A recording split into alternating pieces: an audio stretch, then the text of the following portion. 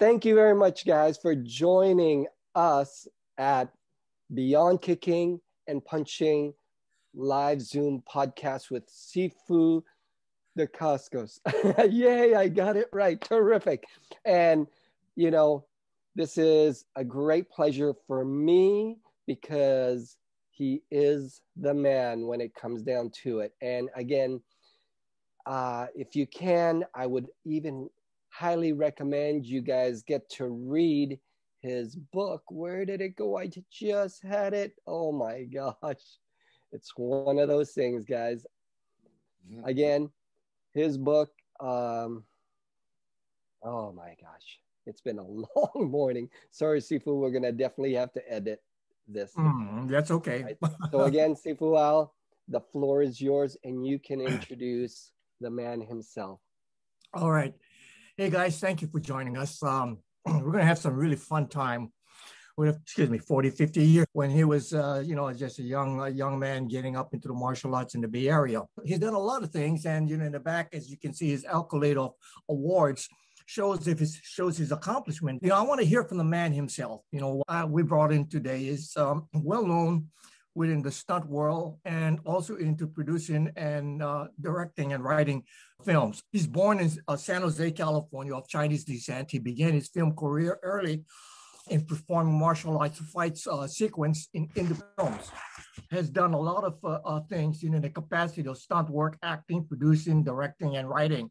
He began directing music videos in 1996 and has directed, produced to such artists as Master P, Jermaine Dupri, Silly Seal, E40, uh, The Moses, Silk, The Shocker, C Murder, etc., etc. He's also directed his first uh, uh, Jimi Hendrix music video for Experience Hendrix a while back in 1997. And recently, he's, he's been the executive producer of the, um, a film that made number one on, on Netflix an animated film called Animal Cracker. So, uh, ladies and gentlemen, I want you guys to give a good clap and we welcome on to the show here beyond kicking and punching, Harry Mok. All right, Harry, let's go. Hey, How are you? Thank you for having me, uh, Sifu Al. Uh, as you said, we've known each other for decades. And uh, also, I've known Malia for decades as well and I'm uh, honored to be here today on your Zoom podcast. This is going to be exciting. A lot of stuff is going to uh, talk about a lot of stuff, and um, and uh, I think I'll, I'll, maybe start off by talking about uh, how I even got into martial arts and how that influenced me into getting into uh, the film industry. How's that? Great. You're going um, right on cue. I just wanted to say how and why you started MA, martial arts. so let's hit it from there. Yeah. Um, I started martial arts when early on, when I was about eight years old.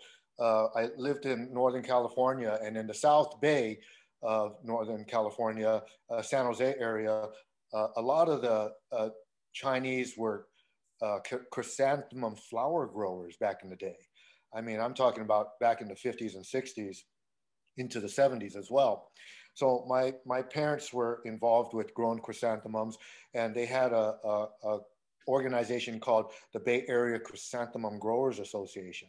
So they had they bought some land in Mountain View, built a facility, and every year, you know, everyone knows how uh, Chinese New Year's is. You know, festivities last for a few weeks, and so as I as as as I was growing up, uh, we would have these Chinese New Year's events at this facility, and they realized that hey, wait, you know, traditionally we got to bring on the uh, uh, bring together, put together a lion dance team, so that way we could you know ward off the evil spirits and bring in, open up the new year, bring in you know good good prosperity and everything.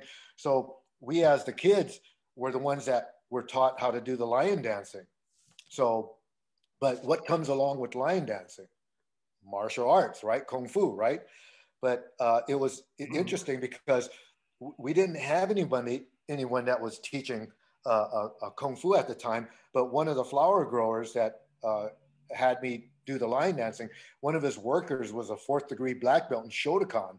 So I ended up learning mm-hmm. Shotokan early on in my uh, in my early age, you know, and um, later on uh, started uh, studying um, uh, Choi Lei Fut with Dak Fai Wong. Um, and then I started uh, studying Kajukenbo in the early 70s over at Gaylords.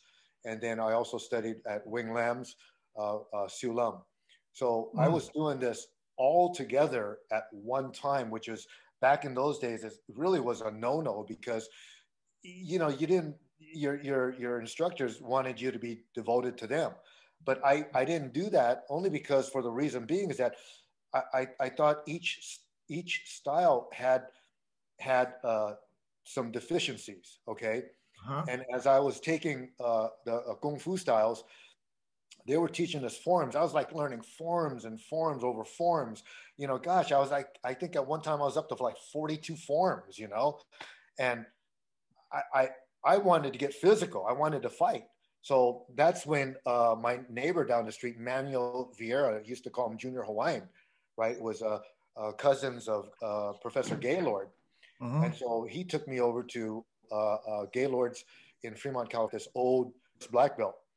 So, uh, uh, and it gave me everything that I wanted because I wanted to get physical. Kajukenbo is a fighting art, right? Mm-hmm. And boy, I, I, just learned how to fight, you know, and and uh, that's what I really wanted to do. I, I was just wanted to be physical. And then yet in the in the Kajukenbo side, they really didn't have any decent forms, right? And I know that uh, Al back in the day introduced Siulum 6 to them, which I thought was a, a, a, great thing because they didn't, their pinans were just, I, they're just very basic, you know, and I, I, I wanted to do incredible forms. You, you know, know, let me ask you, let me ask you a question because you're talking about the lion dancing, right? Yeah. And you started at the uh, uh, early age, mm-hmm. right? Yeah. Um, what part were you playing, the heads or the tail? Oh, I, I, was the head bra. oh, okay, I just wanted to make sure you wasn't the tail end. no, I wasn't the tail end, man. Because if I was the tail end, I would have got myself in trouble. That's right, for sure. Okay, uh, let me ask you another question. When was the when was your breakout moment? Mm-hmm.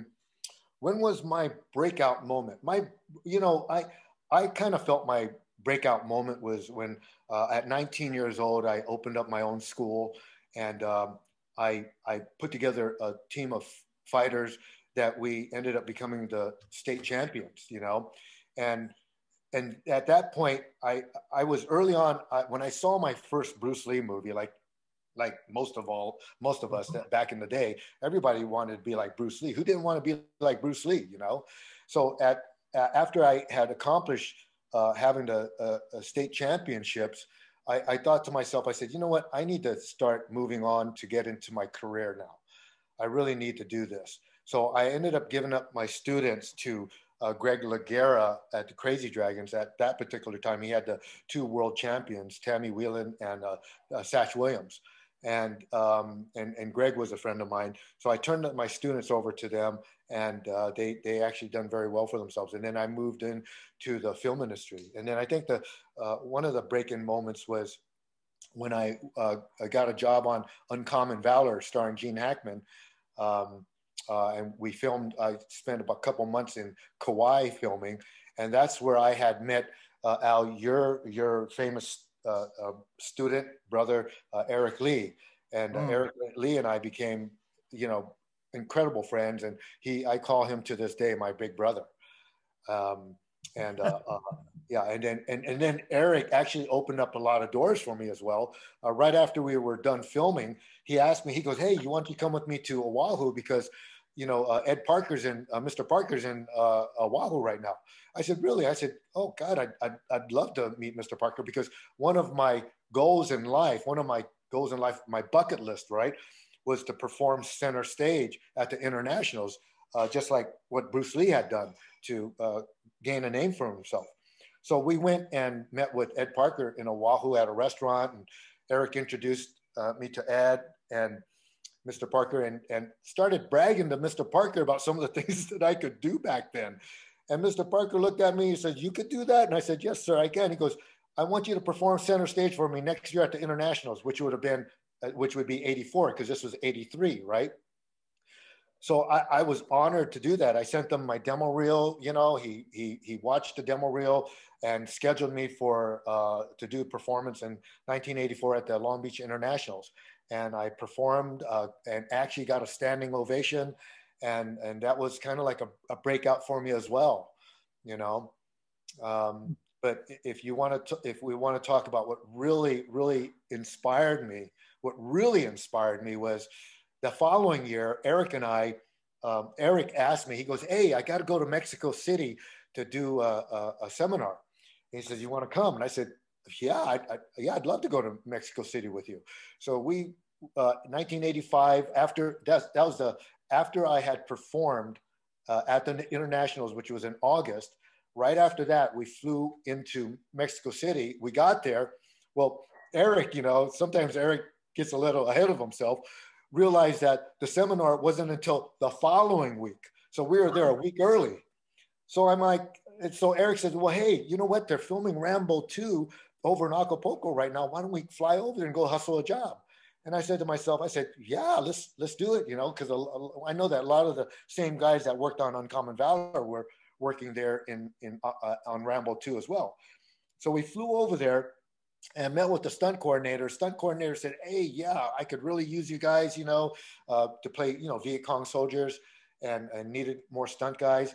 And he says, "You know, if you guys could hang around," he he says, "I, you know, uh, they had a big um, storm that blew down the sets, uh, and here we are staying at a five star hotel. I was paying twenty five dollars a night at a five star hotel. I said, "Sure, I'll stay."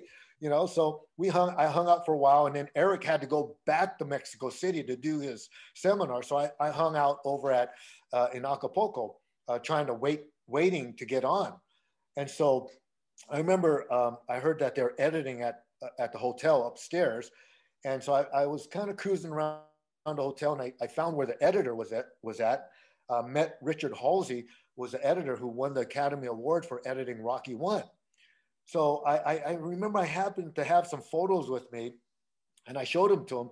He, he asked me, he says, "Are you are you on working on the show?" I said, "No, I'm, I'm actually waiting to get on, trying to get on." And I showed him some of my photos. He goes, "Wow, man, these are great." He goes, "Why don't you show these to Sly? Because he would hire you right on the spot. I know he would." And I said, "Yeah, but how do you even get to him? You know?" And uh, he has three, four bodyguards around him all the time back then. And he said, Well, you know what? I'm, I'm heading down to, to the set. I have to go talk to him. So why don't you catch a cab with me? We'll go down together and then I'll introduce you to him. And I thought, Well, great, you know, which kind of circumvented what the stunt coordinator wanted me to do. I remember prior to that, I was down at the uh, set, you know, maybe a few days earlier, and and they were where they were filming interiors, and I was standing by this door, and all of a sudden the door opens, and here comes Rambo walked right out of the door. I mean, bigger than life. I'm like 28 years old, 27, 28. And I was like, oh my God, there's Sylvester Stallone. And so he looked at me and he, he nodded his head at me and I nodded my head back at him. I was like, I, I should have said something. I didn't even say anything because I was like looking at him like, oh my God, that's Rambo. There's Stallone, you know? And so he, at least he acknowledged me. So now here I am again at standing in front of that same door, right? waiting for Richard because Richard walked over to where the motorhome where um, where uh, Sly was uh, having lunch. I'm waiting around, and then all of a sudden the, the director comes walking out the door. And, and I had met him previous to, and I happened to have my photos with me. I showed it, showed it to him. He goes, "Wow!" And uh, and then all of a sudden, the stunt coordinator comes walking up, and so uh, George Cosmatos, who is the director, goes to the stunt coordinator and he goes, "Hey, can we use any of this stuff in the movie? This is some good stuff." And he looked at the photos. He goes, "Yeah." He goes, "Wow, these are really good." He goes, "But you know, the movie moves so fast. I don't know whether or not we could use any of this." And so he says to me, he goes, "Well, listen, you know, I want to use you, you know, and I don't know when they're going to have the sets up." He goes, "Listen, why don't you just go ahead and instead of waiting around, why don't you just go ahead and leave your name and address and everything at the production office, and and and when I'm ready, I'll call you and I'll have you flown back out."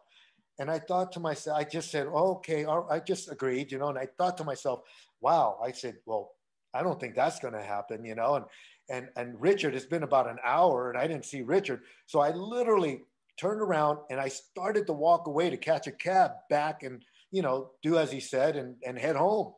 And all of a sudden I hear somebody call my name, Harry, Harry. And I'm like, looked around and there's Richard. And he's like, come here, come here. So I went over there he knocks on the motorhome door. Sly opens up the door, and Richard said, "This is the guy I was telling you about." And Sly says, oh, "Okay, come on in." So I go in there, and I'm sitting with him in his motorhome. I mean, like one on one, right? We're there. I wasn't in there. I swear, no more than three, four, five minutes at max. And he's looking at my photos, and he says, "I want to use you." I'm sure I, I could do that you know and then right after that we just started talking about all kinds of stuff you know people mutual friends that we knew and so on and so forth and some and, and some of the inspirational things that he told me that uh, i learned at that moment was just I, it stuck to me to this day. And and i always share it with people. He was talking about how when he was filming rocky one that how he just hated people that thought they knew everything and i said well how's that and he says, "Well, you know, I'm I'm in the ring. I'm doing my boxing. There's a boxing coordinator there. He's telling me to do things one way, and I said, "No, that's not how I want to do it. I want to do it my way, this way." And he goes, "No, that's not how it's done." And he says, Sly says, "No, well, that's how I'm going to do it." You know, so he it kind of pissed him off. You know, and he says. He says, he says, just remember this. He goes, always do what you feel because what you feel comes from your heart. And if anybody ever tells you uh, tells you different, you tell them to go F themselves and you tell them, I told you so. And I was like, if you could imagine at 27 years old how that's resonating in my head i'm sitting here alone with stallone. It's like someone from the uh, from heaven speaking to me and I, I took that to heart. So anyhow uh, make a long story short uh, that's how i ended up getting on uh, rambo 2 uh, it was still there was a, still a little bit oh i got to share this with you a, a, little bit of a conflict because all of a sudden George Cosmatos comes walking through the door and he looks at me. He sees me and there was Sly. Oh my God, he gave me the look of death. Like, what are you doing in here? I thought I told you to go leave your phone number at the office and we'll call you type of look. And all of a sudden, Sly says to him, Oh, by the way, I want to use him. I want him to double some kicks for me. So all of a sudden, George is like, oh yeah yeah. Oh did you see his pictures? Oh they're really good huh? Yeah really nice. And i'm like i'm like this guy was like a real kiss ass right? So then i told sly i said i said i, I said sly listen um, uh, i told the coordinator i'd, I'd you know i'd leave my name at the office you know and and and he was going to hire me later. And he said oh don't worry about it. Let's oh, let's go. Come on come with me. I'll go let him know right now. So we go out there. We meet up with the the, the stunt coordinator right and the technical advisor who supposedly had 40 recorded kills in Vietnam, you know, later to find out that he was a fraud, but but then everybody thought he was this, you know, this war hero, right? So anyhow, he's standing there talking to the stunt coordinator. He's telling him, "Hey, listen, I want to use him. I want him to double some kicks for me." All of a sudden, the technical advisor chimes in. What are you talking about using kicks? He goes, "We can't use that. You know, it's not effective. It doesn't work." And he says, he says, yes, what do you mean it doesn't work? I've seen people knock people out with one kick in a bar. And all of a sudden the technical advisor says, yeah, but we're not talking about a bar. We're talking about where this is live combat. And he charges, charges Sly and Sly lifts his leg up and does a straight kick and kicks him in the gut. And I'm like, Harold Diamond, who's a, now a stunt coordinator, big time stunt guy, he looked at me, he says, Harry, he goes, man, you don't know the tolls you're stepping on. This is only one movie compared to all the movies you're going to work on. And I told him, I told Harold, I said, listen, I told Sly, I just assumed leave, but Sly told me, no, this is my, my gig. And I was like, okay. So, but what, but after that, I, you know, I, I talked to that, that technical advisor. I apologized to him. I didn't mean for that to happen. He goes, don't worry about it. He says, just do a good job for Sly. But because of all the uh, uh, political BS that happened on the set that was going on, uh, I never did double kicks for him. I was prepared to, uh, but I, I, ended up uh, uh, dying a couple times. But my main claim to fame in Rambo 2 is when he shot me in the head with an arrow and pinned me to a post. You know, so that was always a memorable scene, right? well, that's a real good headshot. yeah, exactly, right? Exactly. Right. You know, um, seems to me that you know Eric really got you started or got you inspired, and you know meeting up with uh, Sylvester Stallone, you know that's just like a double cracker that uh, really really got you going. You know, so you have a lot of inspirational things, but you know I'm sure that working on the set, have they ever come close to where you became, uh, uh, you felt like you, you were in a, a near death experience? A near death experience? Mm-hmm. Well, I, I, tell you what, um, there was there was there was an incident. I remember there was an incident. You know, I've always, you know, when, whenever you're doing uh, choreography and fight scenes and stunts and stuff like that, everything is always, you know, calculated, right? You know, but there's right. things that are the most dangerous is what you cannot calculate. And and I, and I tell you what, I remember here we are filming in the jungle, right? And uh, uh, uh, and I always remember this because it's what you what is scary is what you don't have control over, right? So I'll give you an example. Um, uh, Rambo's flying over in his Huey, right? And we're running in front of this, and, and he blew up this this hut. I mean, it went. They had primer cord set up, gallons of fuel, and boom. I mean, they blew this thing up. And I tell you, I, I was at a distance, but I still felt the heat just going at me, right? So he flies across, blows us up. We're shooting at him, right? And the most important thing was to be careful of all the debris that was coming down because as it went up, we had to run in front of this place. All this stuff is going up. And then as it starts to come down, we have to take off, right? Well, the guy in front of me was uh, slightly delayed, and there was a piece of wood that came came down and jabbed him right below his eye, almost took his eye out. You know, and I always remember that it, it even though it didn't affect me, but it it made me think. You know what is what you cannot control is the most dangerous part. So uh, I didn't have a life um, uh, my my experience of near death was was actually from a car accident back in 2013. You know, I almost I almost died in a car accident. You know, that's you know that's the part that and that was out of my control. So uh, when you're in control, it's always something that's more calculated, and you don't have to, you know, you don't have to be as worried. So I've been very fortunate, other than that car accident. Originally, your family came from uh, from China.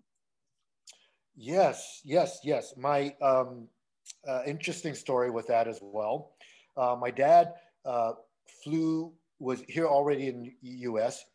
He had an arranged marriage with my mom, flew back to China, married my mom, and, um, and came back uh, and started, tried to, to come back to start the process to bring her over here, right? And back in those days, if you could imagine back in the 40s, right? I mean, it could take a decade or more to try and get somebody over here. Very difficult back in those days. But what had happened was after my father had left China, it was right there during that time when the Japanese invaded China. Okay. And so my here's my mom, like everyone's running for their lives. Everyone's, you know, go, trying to move from village to village. Well, my mom finds out that she's pregnant, okay, with my mm-hmm. oldest brother. And so after you know, she she's running for her life, moving from village to village. She ends up having my oldest brother, right? And she she's trying to get out, get somewhere where she could be safe to raise her child, right?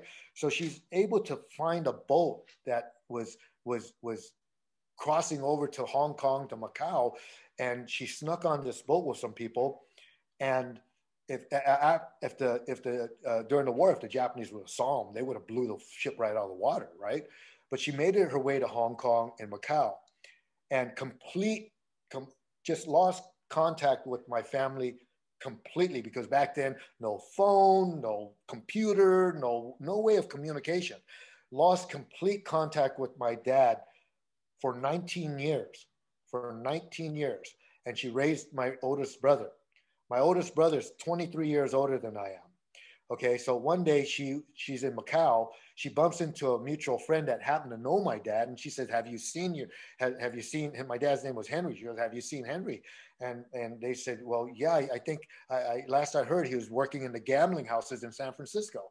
So she says, "Can you give deliver if you see him, if you could find him, if you could give him this message, let him know that I, I'm, I'm okay." And he has a son that's like 19 years old, well, 18, that was getting ready to turn 19 and and so she when she get, came back to the states delivered that message to my dad and my dad was like, you know, wow, he, he, he, like, I have a, my wife is alive. I have a kid that's almost 19 years old.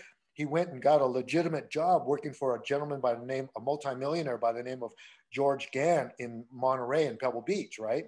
As a, working as a butler chef. So this gentleman, uh, George Gann, was in the telecom business, and he was the one that was responsible for setting up the telecom system in China. So, mm. so he he told my uh, my dad worked there, and as he was working, and he saved up some money, he asked Mr. Gann if he could help move some of that money, uh, wire some of that money over to uh, to my mom, to his wife in Macau, right? And so Mr. Gann says, "Yeah, sure, sure, Henry, I'll help you." So he helped him and did that. You know, a couple months go by, he asked Mr. Gann to do it again, and so Master Mr. Gann just was curious and asked him. He goes, "Well, Henry, do you have family there or something? You know, what? you know, you're wiring money to. I know it's not my any my business, but you know, you, are sending money to your family. And so my dad told him, he goes, well, I have a wife and kid that I haven't seen in nearly 19 years, you know, because of what happened with the war and everything. And, and George Gann was so compelled with that, that he told my dad, he said, Henry, he says, my goodness, he goes, I'm going to on vacation to Taj, Taj Mahal. From Taj Mahal, I'm going to go straight into Hong Kong and I'm going to get your wife and your son and I'm going to bring them back with me. And lo and behold, that is exactly what he did. And if it wasn't for Mr. Gann, I would not exist. Okay. What, My other brother would not exist, you know? What year, so, what year was that? Pardon me? What year was that? Oh gosh, that was in the, that was in the, I believe that was in the 50s, in the early 50s, right around there. Hmm. Okay. And then, um, and so, so when my, when, when, uh, they, when he was bringing my mom and uh, oldest brother here, uh, apparently, you know, when you're a wealthy man, you got connections, you know, right. to, to, to people in high offices, you know. So he was able to get them over here, like not a problem at all. Other than he had an incident with one of the person from immigration saying, uh, uh, holding them up. And Mr. Gann, my mom, I remember my mom telling me, she says, I've never seen Mr. Gann so upset before. And Mr. Gann would, was, um, the gentleman was holding up the process. And Mr. Gann said, if you don't let this lady and her son through, do you know who I am? I will have your job. And and the guy was like, no, Mr. Gann, no, Mr. Gann, it's okay, it's okay. I know everything's gonna be fine. We're gonna, they're gonna get through okay, you know. So mm-hmm. that happened, and then they had my other brother, who's three years older than I am, and then I myself was actually an accident because at that point my dad was in his mid 50s and my mom was in her mid 40s. You know, and my mom said they weren't planning to have me, but it just happened. yeah, you know what's interesting about the person that brought your family over because during the during the the uh, early 20s and 30s and 40s, you know, Chinese and Asians was really discriminated upon. And I know that in China, in the history of American history, segregation, especially when it came to the, the Chinese, because they work on the railroads, they, they, they, they, were, they were lynched, they were put into segregations, and it really didn't open up until 1943. So, you know, it was interesting to know that, you know, before 1943, you didn't have any, any Chinese coming in because they all, they held them up on the uh, uh, San Quentin Island you know? Um, exactly. um, nobody could get in, the, in there. And some of them many of them were even sent back. But to hear that you know that your family came inside you know afterwards that's a, a really amazing because there's been a lot of uh, well chinatown wouldn't have been there if they didn't allow the chinese to grow much bigger than they are. Anyway that's interesting to know about your family. Yeah you did send me a package and here here it is right? This the yeah. mask you sent me and yep. um, the interesting part about this mask is just that you told me about it, but when I put it to my nose, it has that scent of cinnamon. Is it cinnamon? It's it's cinnamon and clove, and combined with various other essential oils. And the, the reason why it has that brown look because that's copper. So the mask, it's a mask that we invented that we are in manufacturing of right now as we speak. Uh-huh. It's an antiviral mask. We're submitting to EUA this month to get our uh, approval for EUA, and it kills the virus on contact. Wow, it's interesting. So at least you're doing something, masking everybody up. well, yeah, you, great. You know, you know what? Even when they start, uh, if there's a, if, if it is that they start reducing the, you know, um, you know, uh, people to not have to wear the mask, you know, but it could be still used in hospitals government, you know, uh, and and also they're talking, you know, they're already talking about COVID twenty, COVID twenty one. You know, you hear Gates talking about that, and it's like, okay, all right, well, we're going to be prepared for that, you know, mm. and and the, the masks are going to be available uh, here very soon. And we're also what we're doing, we're applying the same technology to HVAC filters for filtrations for commercial buildings, airlines, um, uh, cars, vacuums, things of that nature as well. So that way uh, it could help to reduce some of the spread of this virus. Wow, there's a lot of things going on. So you know, yes. I, you're going to be living uh, living uh, living behind a lot of good legacies. Uh, so, you know, there's a lot of things that that goes on in a person's life. You know, and I'm sure that you know, as as growing up and getting into a lot of your activities, I'm going to ask you a question. What's your worst fear? My worst fear my worst fear right now, I, I have so much going on right now. And, and my worst fear is, is, you know, we, we've seen these past years, especially last year, uh, uh, but even the past several years, I, have I've had so many friends. Uh, I remember one year, uh, three years ago, three years ago, that one year, I had four friends that went to bed and never woke up. You know, and and and uh, probably sleep apnea, heart attack, so on and so forth. I, I think one of my worst fears is to to leave here and not finishing what I've set out to do. You know, finishing my my my my projects. You know, and uh, another fear is is what lies ahead with what's happening to the world right now. You know, and people being put in a, situation where you know um, uh, forced to, you know, uh, now we're taking, uh, everyone's having to take vaccines and everything like that, you know, and, and they're going to, you know, trying, they're trying to mandate that. They're trying to get everyone to take these vaccines. And, and I've never taken a vaccine, you know, and I, I don't want to contaminate my body. That's just me personally.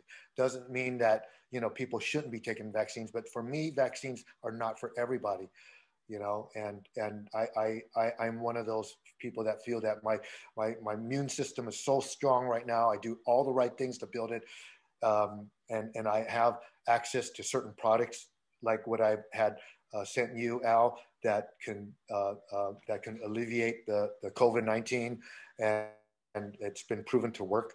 And so i i, I just I just don't, I choose not to do that. So my fear is that uh, if that forces that on everybody, like now they're talking about having a, a, vaccine passport. So what? You can't hop on a flight to go anywhere unless you have the vaccine. So they're finding a way to get everybody inoculated with this vaccine.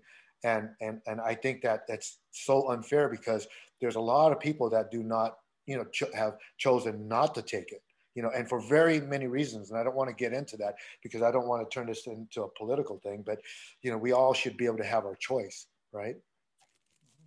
You know, interesting, yeah. A question, you know, if you had to do things all over again, what would you do? You know, what I would do is, you know, when I when I was when I was younger, um, I I just really felt like I, I felt like I could only I could only move forward so much because I there was a fear that you know you're, you're, you're young you know you you don't know what life has in in stored for you you know? And there's mm-hmm. a certain fear about you know what am I gonna what am I gonna become you know? Where am I gonna be at in life you know? And and um, how am I gonna how am I gonna live out my life? I think if I were to do something all over again I think I'd be I would I would be far more assertive, you know, and I, and and really push harder in my in my dreams in my career and what I wanted to do, and and utilize uh, utilizing my martial arts experience as that no surrender, no retreat attitude to go out there and and and just like if you're sparring in competition, what is your objective, right? Mm-hmm. Your objective is to win. Okay. Right and you're going to do everything that you possibly can to win. If you get in a fight, what is your objective? Your objective is to win because you're defending yourself. You have to mm-hmm. defend yourself, otherwise you're going to get hurt. So I use the same attitude with martial arts in, and life's experiences. Right? Is if I set out a goal to do something, I set it out and, and, and I'm, I set out to go and do it. which I'm doing now. I wish I would have done that earlier on in my life. Like now, I have that no nonsense attitude. I'm involved with so many different.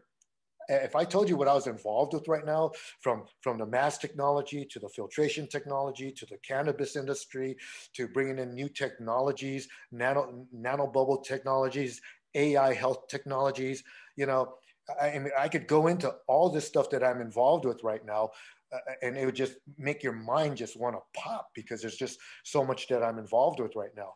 And, so and the greatest challenge you have right now is just putting it into order. Absolutely, and it's all it's all coming together as we speak.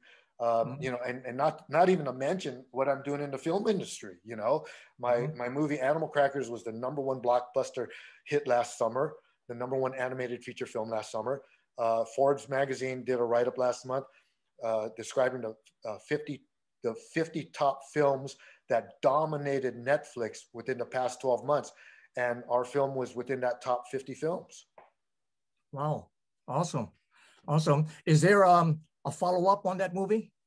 Uh, yeah, we have the sequel. We do have. We've written the sequel, and uh, I, I, put together. We have a, a slate. We have a, we have a slate of ten films that we're going to do and uh, they were. I just last month submitted them uh, to Hulu to, to to see if they'd be interested in, in funding our slate, getting involved with our slate, which includes Animal Crackers too which is, is going to be even better than Animal Crackers One. If you if you anyone had a chance to see Animal Crackers One, um, uh, it'll even be that much more better. We had a huge cast. Uh, John Krasinski, Emily Blunt, Sylvester Stallone, Danny DeVito, Sir Ian McKellen, Gilbert Gottfried, Raven-Symoné, Patrick Warburton, Harvey Fierstein, Wallace Shawn, just a huge, amazing, amazing cast. Well, I saw it, and um, you know, I, on some parts I had to replay it. They said, "Wow, it's pretty good, man." You know, and I know that. Um, how long did you guys take to uh, to film that? Um, you know, animation takes a lot longer than than your live action because you know you have a team of like we had a team like of about 120 people working on this nonstop um, and animation just, just takes a long time. Now, Disney, DreamWorks, and uh, uh, Pixar, it takes them on average about four years plus to do uh, to do an animated feature. Uh, we got ours done in two and a, two and a half years. It's amazing. It's amazing. Oh, wow! You know, you you leave me with a lot of questions, and you know, it's it's not surprising. I mean, you've got a lot of things going on your plate, you know. Here's the thing that, you know, that uh, I see, you know, you, you, you've done so much and I can see that you, you, you put in all efforts to help, you know, cure this um, or curtail the pandemic, you know, mm. and hopefully with your, your products coming out, that's going to make a, a, real good dent into the spread of the COVID uh, uh, thing. And you also talked about, you know, your, your new projects, you know, and you know, you you're pretty well fit. How do you schedule out your workout regimen? You you know, I, I this has been a, a, life journey. You know, I started off. Uh, um, I actually started off when I was 18 years old into lifting weights. You know, to uh, I knowing early on I wanted to be like Bruce Lee. Well, I wanted to look like Bruce Lee too. I wanted to have that physique like Bruce Lee, right? And if any of you have ever seen any of my photos, I actually replicated Bruce Lee and then I surpassed Bruce Lee's physique. And my regiment, and because I started early on, I've made it like my whole life to uh, of, of health and fitness and martial arts, right? Mm-hmm. And you, you have to look at your your body as a temple, okay? And you have to maintain its structure. And here I am, I'm 63 years old, you know, uh, uh, I took a picture last year, ripped to shreds, full six pack, everything, just vascular, ripped to shreds, right? And it's because it's the the the the, the, the life that I chose to lead, you know, uh, in health and fitness, you know, in martial arts. And so my regiment to still to this day, I worked out this morning. Today is I, I train five days a week, and with my uh, with my weight training as well as my martial arts.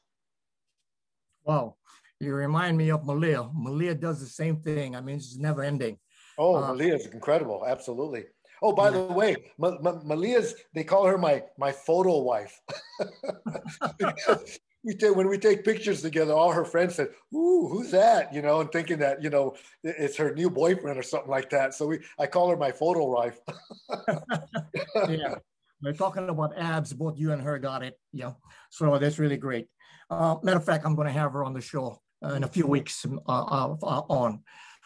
So now, what exactly, or where, where, where do you go from now? I mean, now, where's your, where's your direction? My direction right now? Uh-huh. Wow. Uh, uh, again, you know, um, we're, we're, uh, we're, I should find, I should know soon about our slate of films with Hulu. You know, if they, if they accept it, that'll keep me busy for years to come. Uh, if not, then I just move on. I'll maybe go back to Netflix and uh, or Amazon or or Apple, you know, and uh, uh you know, or independently. We have some sources right now that actually are um, looking at our slate to do independently, which would actually be a, a, a much better choice for choice for me. So, and moving forward right now, I'll continue in the film industry. I'm actually right now writing a story entitled The 13, and uh, the movie, this movie would be live action and it would take place pre China, which would be the kingdoms. And it would entail utilizing a lot of different martial artists of, of all cultures, nationalities, right? And I, I could assure you this, you know, being in the business as long as I have, being in martial arts as long as I have, I could assure you this, this will be one of the most action packed. Uh, uh, I, I want to make it a series because as a series, what I could do is I could rotate martial artists such as like yourself, Al, uh, Mr. Ron Liu, who I see here. Hi, Ron. Um, and utilize all all my my all my hey Bobby hey Bobby what's up brother? And and utilize all my uh, uh, you know martial arts connections. And they they they would be on in episodes but their characters could be reoccurring as well. Um, and but it'll be the most exciting most dynamic uh, uh, action martial arts series that you I'll blow everybody out of the water. This new kung fu series, whatever you know, it's not even going to be able to compare to this. So that's something that I, I want to do. I have a, a script that I've written called Lion Dance, which I want um, my godfather James Hong to uh, to do for him to star in. And I know he's just turned 92, but he's still working, believe it or not, and he's in good health right now. And uh, James, as you know, uh, starred in, uh, uh, played Lo Pan in Big Trouble in Little China and starred in over 600 films and television. So uh, that right now uh, is very timely because that film will connect some the cultures together. Because right now we need that so badly because of all the Asian hate that's happening right now going on around the world. And uh, last week I was in San Francisco in front of over a week ago today. I was in front of over 3,000 people at a rally, uh, just, you know, speaking about, you know, what we need to do to, you know, pull, pull everybody together as a unit, you know. And stop this hate crime. Stop the hate crime, yes. Uh, mm-hmm. and then on top of that, as I move forward, again, I, I got the mask. I'm doing dealing with the filters. I'm dealing with uh, uh AI technology for health.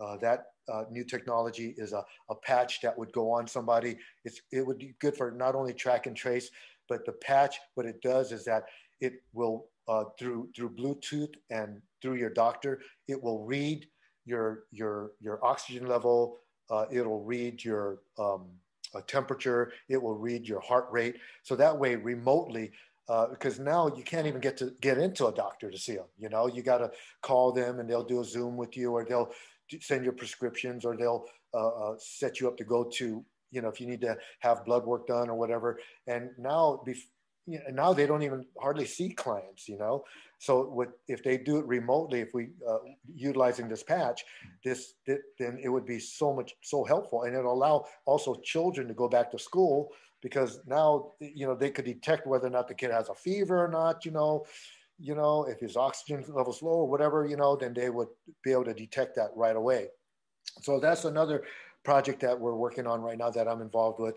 And then also, um, uh, uh I, I, I, okay, I, I, I'm in the cannabis business. Okay, I got myself into that business. Okay, all right, whatever. But I, I gotta tell you, at, at 63, when I was 12 years old, was when I was smoking my first joint. you know, oh, you tell me about that. but you know what? You know, you're a kid. Everyone's experiencing as whatever they experience. But I, I actually stopped doing that stuff when I was like 14, and and because uh, I realized what I wanted to do in my career. So I, I just stopped all the nonsense and, and moved and moved forward to get myself into the best shape of my life. And now today I do utilize cannabis so I could sleep. It allows me uh, when I, I, I don't I, I, I don't abuse it. I just take enough that allows me to sleep because otherwise I will literally wake up at least a couple times in the middle of the night. And when you wake up and you feel like you got to go to the bathroom, what are you going to do? You're going to get up and go to the bathroom, right? right. And I want to I want to sleep throughout the night. So I, have involved myself into uh, that industry as well, uh, and then also some new technologies coming out of uh, Japan right now. We uh, with uh, nano bubbles and nano bubbles is a technology that's just absolutely amazing and it, what it does is it, it, it, it, could be used as a disinfectant you know and without using chemicals at all just nano bubbles. It produces these oxygen bubbles that are so small and that they stay in the water. It's not like a bubble when you fill up something you see all these bubbles come up. No these nano bubbles stay in the water and they and and and it's it's capable of uh, killing bacteria. So we're working on that uh, bringing that into the country as well and some other okay. technologies. Is that is that drinking water you can drink it as well. And it's highly oxygenated. You can drink it as well. Uh, what they're doing, uh, they did test with this in Japan. They took, they were the first time ever done in history where they took a freshwater fish, a koi fish, and stuck it in the same tank with a saltwater fish mm-hmm. in nano bubble water. And they both, to this day, are surviving in this one tank. And then also, they did comparison studies uh, util- raising fish in nanobubble water, whereas uh, they took two fish the same size, right? Same size, put it in nanobubble water, fed them the same, and one fish grew literally twice as big as the other fish that was not in nanobubble water. Awesome. awesome. Yeah, and then also one other thing that they did to, to, to prove the test, right? You know, a, a company that was processing oysters in Japan. Well, when they process oysters, they use salt, they use chlorine, you know, and, and affects the taste of the oyster. So when they got word of the nanobubble technology that would kill these the different bacterias, right? They uh-huh. started using the nanobubble technology, cut out the chlorine, cut out the salt, salt, and it did everything that they wanted to do. And their oysters now taste, you could taste the pure flavor of that oyster. So that it's being used for a lot of different things right now. Wow, you got a lot of things going. So um, you know, it looks at it looks to me that you know, a lot of people use failures as a means as a stepping stone. How do you, you how do you see failures to you? You, you know, we we you know, if you throw enough shit up on the wall, something bound to stick, right? So right. That's my that's my that's my attitude. You know, because in life we're going to fail. We are going to fail at at a lot of different things. And if if you don't fail, you're not going to learn. How we we learn from our failures, correct? And I, have made so many mistakes when I was younger. I mean, I made a lot of mistakes, and I wish the only thing that I wish is that I I knew what I know today back then, and it would have uh, prevented me from, you know, you know, make uh, uh, do, making all these failures, you know, creating these failures. You know, I think I would have been that much more successful. But I learned from them and I never make those mistakes again. So I utilize every failure that I've had. And there's, trust me, there's been a lot of them, right? But you got to keep on pounding. You got to keep pounding through them. You cannot, if you know, if you're working on a project and you, and, and you've done everything that you could to try to make that succeed and you finally, you realize that this is not going to happen. Don't, don't just sit there and keep on pounding at it, man. You got to start moving, move on, move on with it. You know, unless it's unless you've invented something and you've created something that that that could be a disruptive technology or something that could help society or whatever, then yes, you could keep on pushing with that until time will will will it'll be a there's always a god-given time for everything okay even for technology you know and I, I learned early on when I, I made a movie with james hong that i produced i created and produced and james hong starred in and direct called the vineyard right it ended up becoming a, a cult classic a horror movie i like that Yeah. So mm. I, I, what I did was I, I, I finished that movie and I thought, man, we're going to make millions off of this. You know, we're going to hit it big time and all this. And I, I realized what I realized when we sold the movie, all my investors were made profit right off the bat. And, and back then there was a couple other friends that I was knew that were making, you know, movies and, and none of their movies made money, you know? And, and so I felt so blessed that, you know, my movie made movie money. But I thought, man, I'm going to make, you know, I'm going to make all this money on this movie. Well, I didn't make millions of dollars on the movie. We got our, we had a minimum guarantee of, we made the movie for 280,000.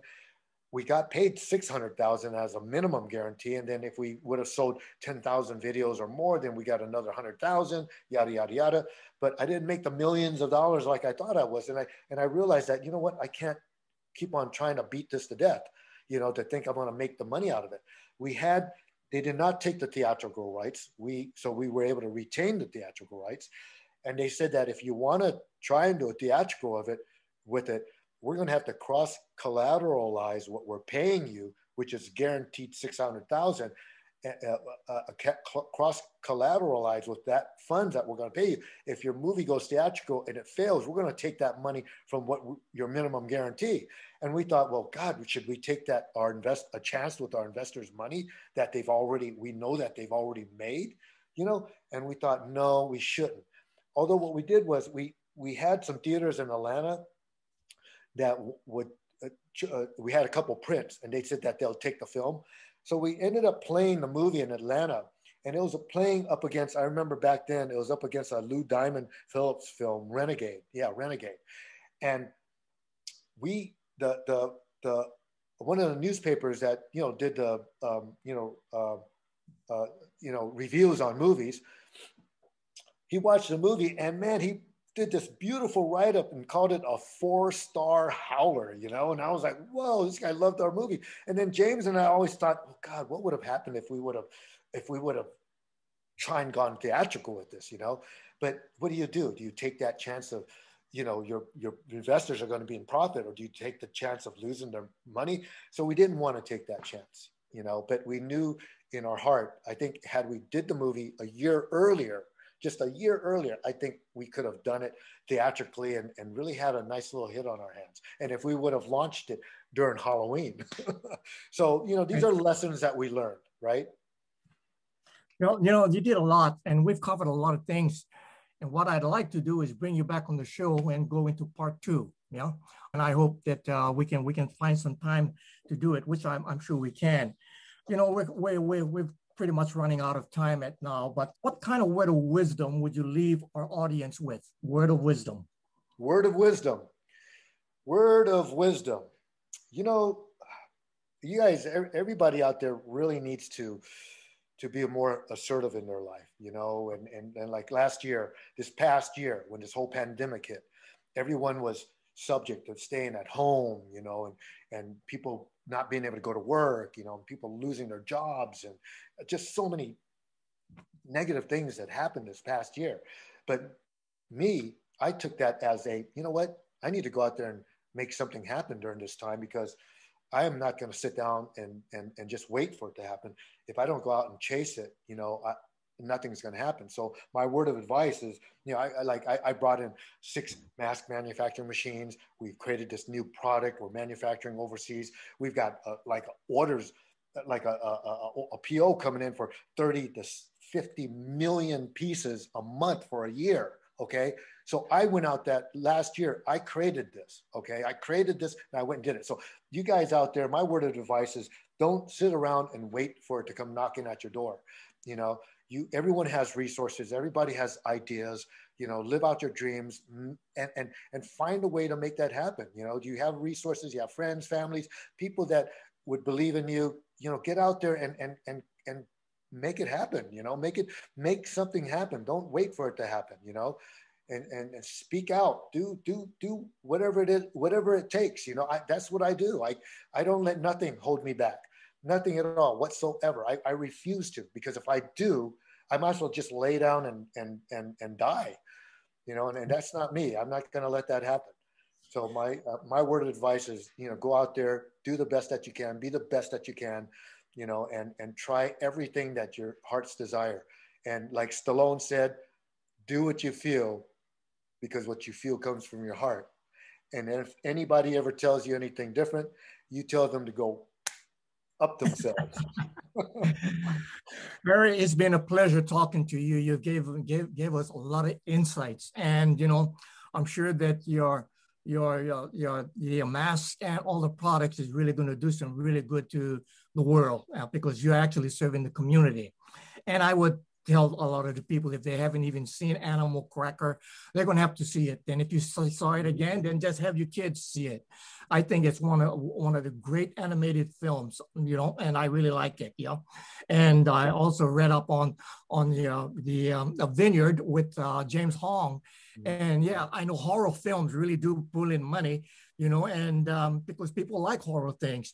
Yeah, you got a lot of things going good, and I really thank you for being on my show. And you guys out there, you know, um, if you really appreciate it, show me a thumbs up and give me a good clap here for for, uh, for, for Harry.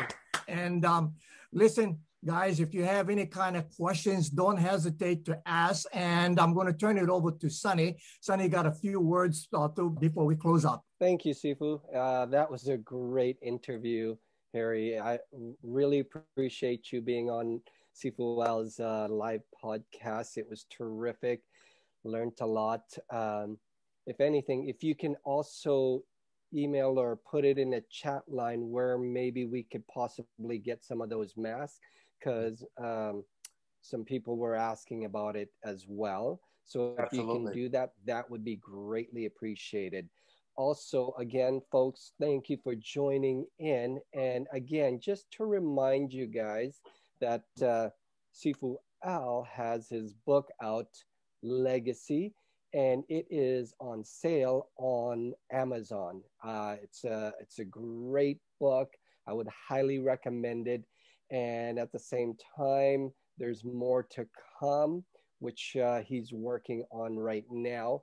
Also, as you can see on my shirt where it says the cascosmartialarts.com, it also has all of his uh, videos set that he's reselling and getting ready for the big launch for his new product on DTS, which is going to be a ongoing, continuing education program. Again, thank you for joining us. Make sure you guys, this is also going to be replayed on YouTube, so make sure you like it. Okay, uh, subscribe to the channel. Uh, hit that bell icon so that this way you get notified for all the other new uh, videos that Sifu Al will be posting because all he really wants to do is educate, inspire, and hopefully leave a great legacy of new and upcoming leaders. So, again, thank you very much, guys. So, if you guys all want to unmute yourself, you're more than welcome and say thank you to Harry and Sifu Al's uh, podcast. By all means. Thank you for joining us today. I see Malia there. Hi, Malia. Julia. Hi, Julia. Bobby, Alfred, Kelly, Ron, brother Ron, Matthew, John, Kalapi, Gina, Sean. All right. Thank you guys for joining us today. Angie. Hey, Angie. Yeah.